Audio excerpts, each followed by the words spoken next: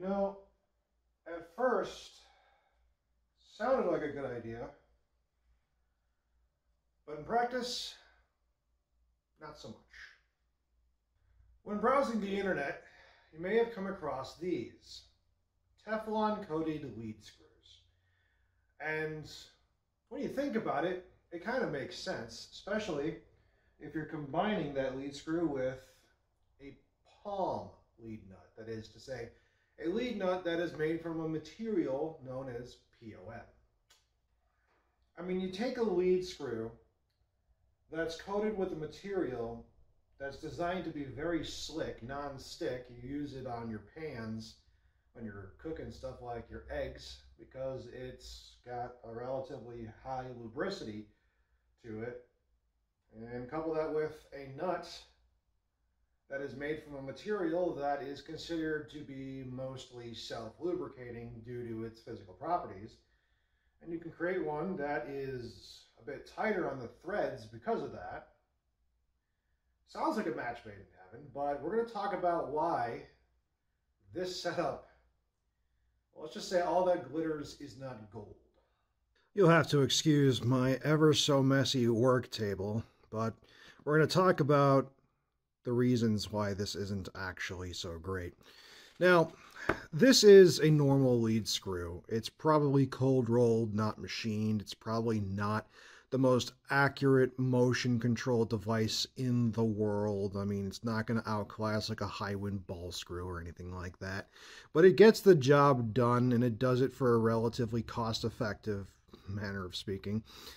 But when we start to pay about twice as much for a lead screw that's Teflon coated, we need to talk about its cost effective nature and the problems that come along with it. So let's get to it. Let's just take a minute to appreciate how this works.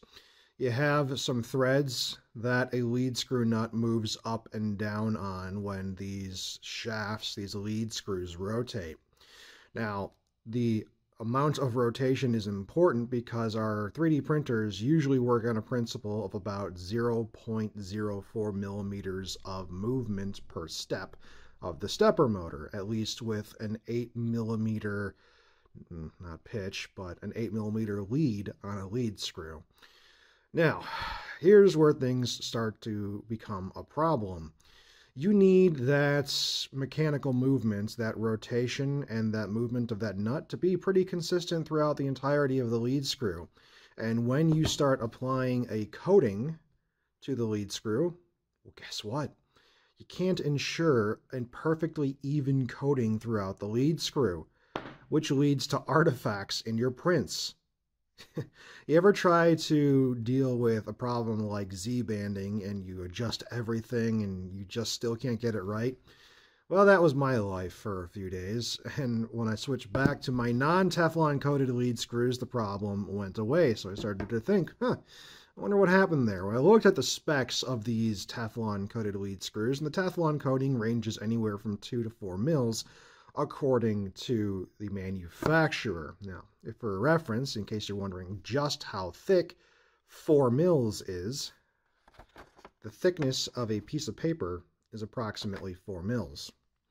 Now, that's not very thick. It's a piece of paper's thickness. But again, when your resolution on something like an Ender 3 with stock lead screws and stock motors is 0.04 millimeters, four mils actually does make a difference, especially when it's not four mils consistent throughout the lead screw. It's anywhere from two to four mils, and that is where the problem starts. Believe it or not, that's not where it ends, though. It actually gets worse.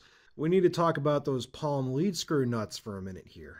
Now, POM is a really cool material. If you ever get a chance, just spend a little time looking up this stuff. It's a nightmare to print with, but if you're going to injection mold it or something like that, it's probably not nearly as bad.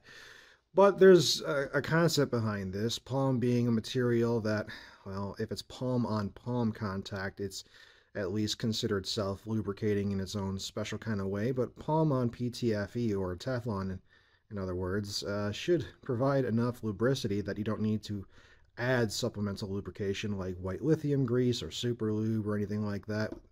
So, you know, it's, it sounds like a good idea, but when they make these POM lead screw nuts, they're more or less making them almost a freaking straight up negative off of these lead screws, which, you know, sounds kind of neat at first. You get a really tight, tight tolerance between the threads of the nut and the lead screw, which is a bit different compared to something like a traditional brass lead screw nut, which has to be tapped and and has to have threads cut out for it. And there needs to be a little bit of movement in between the threads of the lead screw and the lead screw nut so that it can move. But I think whoever started manufacturing these kind of overestimated the capabilities of the lubricity properties of uh, these two components because man oh man let me tell you what not every lead screw and lead screw nut is going to be the same for instance these two lead screws right here have vastly different diameters compared to each other, despite from them being the same manufacturer, same product, same product spec, and yet when trying to thread these on, you can feel the resistance. In fact, I had to uh, induce a little bit of, I don't know, let's call it a run out in these nuts myself by attaching this lead screw to a drill so that I could turn the lead screw in the nut a little bit to wear away a tiny, tiny gap so that I could even use these lead screw nuts to begin with. They were that tight. And the thing is, it's probably not the nut's fault, it's the application of Teflon to these lead screws. It's not even, it's not guaranteed. And in a system with dual Z rods on your Z axis, meaning you're using two of these lead screws, one on each side for your z-axis. If they are not the same, you're gonna get printing artifacts in your prints. Mine showed up in a variety of ways, but most notably, some very strange Z-banding that I really hadn't seen before.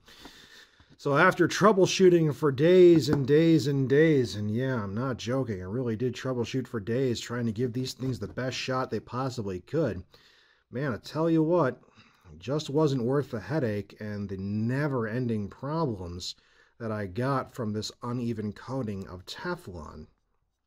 So, lesson learned. Sometimes the traditional way of manufacturing things is probably there for a reason. Look, it's cool to try and advance the technology, but buddy, this ain't it. At least not for me.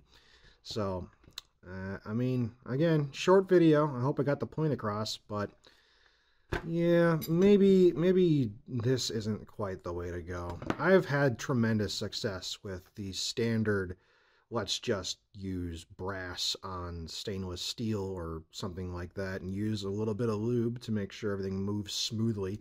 That's been working great for years, you know, it's been an industry standard for heck, who knows how long now.